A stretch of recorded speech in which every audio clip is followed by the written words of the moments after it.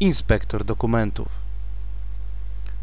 W pliku Worda poza treścią dokumentu zachowywane są także liczne informacje dodatkowe, na przykład komentarze, właściwości pliku, nazwa użytego szablonu czy informacje o twórcy pliku.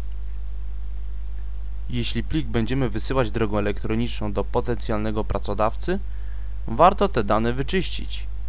Dowiedzmy się jak to zrobić. Wskaż kursorem myszy przycisk o nazwie plik, naciśnij raz lewy przycisk myszy. Kolejną czynnością będzie kliknięcie w opcję informacje, chyba że ta opcja już jest włączona.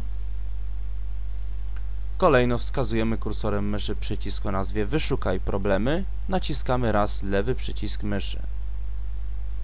Rozwinie się lista, na której wskazujemy polecenie przeprowadź inspekcję dokumentu.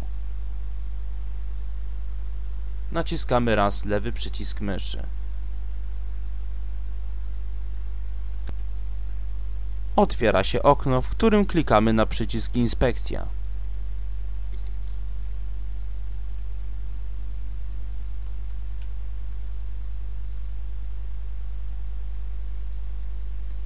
Program przeprowadza inspekcję dokumentu, po czym wyświetla podsumowanie. Aby usunąć dodatkowe informacje z pliku, klikamy na przycisk Usuń wszystko przy każdej kategorii.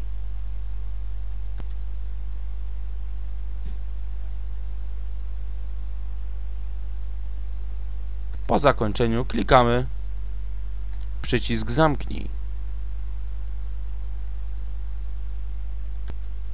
Spójrzmy teraz na okno podglądu.